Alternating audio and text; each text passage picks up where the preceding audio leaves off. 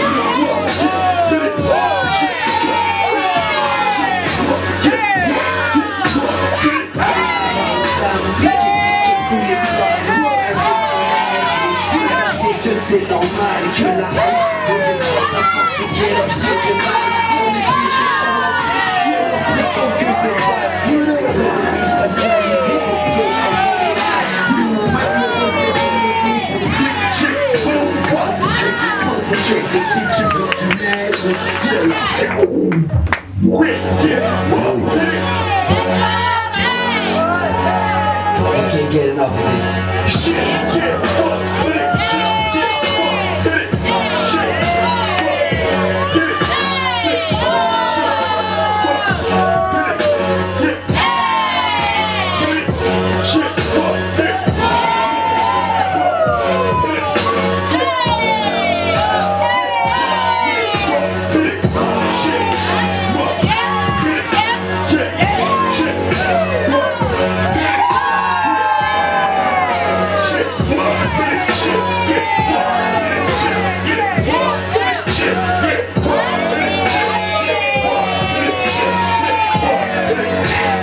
Yeah,